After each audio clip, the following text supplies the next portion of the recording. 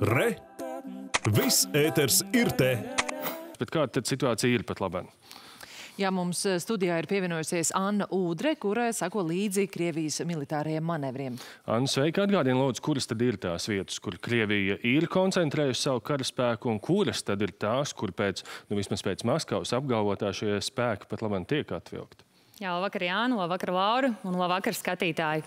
Man aiz muguras jūs varat redzēt karti, kur mēs aplūkojām jau pirms pāris dienām, bet situācija vēl joprojām ir aktuāla. Proti, brūnā krāsā jūs varat redzēt tās vietas, kur Krievijas spēki ir bijuši pastāvīgi. Tie ir bijuši ar aptuveni 30 tūkstošiem karavīru. Savukārt zaļā krāsā ir redzamas vietas, kur karaspēks savilkts pēdējo mēnešu laikā. Un, un šīs zaļās vietas, sevišķi, ja mēs apskatāmies uz okupēto Krimas pussalu, kur eh, šis spēku skaits ir būtiski palielinājies. Kopumā tagad karavīru skaits ap Ukrainas robežu ir vairāk nekā 100 tūkstoši.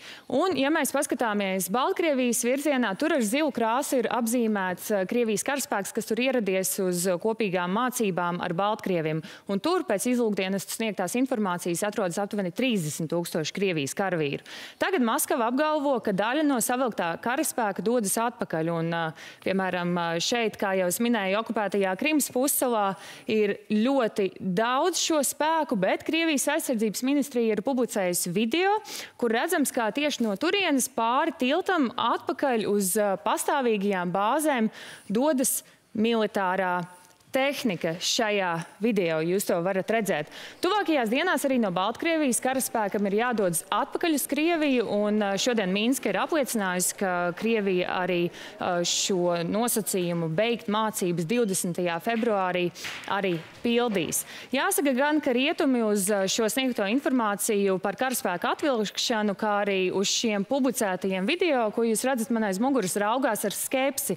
Un tas daļai saistīts ar to, ka Krievija nav sniegusi precīzi informāciju par to, cik tad konkrēti liels karaspēka daudzums ir savilgts un cik tagad uh, lielas vienības dosies atpakaļ uz pastāvīgajām bāzēm.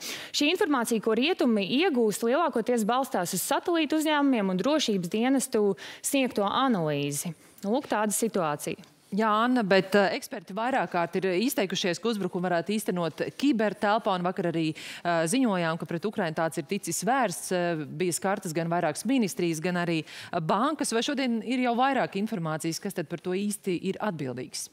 Jāsaka, ka izmeklēšana vēl joprojām turpinās, bet uh, Ukrainas drošības dienesti ir apgalvojuši, ka tikai Krievija varētu būt ieinteresēta veikt šāda tipa un mērogu uzbrukumu. Maskava šīs apsūdzības ir uh, noliegusi, protams, norādot, ka Kieva vaino Krieviju itin visā, bet bez reāla pamata. Tie ir uh, Maskavas vārdi. Uh, bet piebildīšu, ka Ukraina regulāri cieši no kiberuzbrukumiem un pēdējo septiņu, astoņu gadu laikā ir vairāk kārt traucēta valdības mājaslapu darbība, arī bankas kas ir bijis biežs mērķis, un uzlaus arī Ukrainas elektrotīkls, kā rezultātā daļa iedzīvotāju uz laiku, uz laiku arī palika bez elektrības.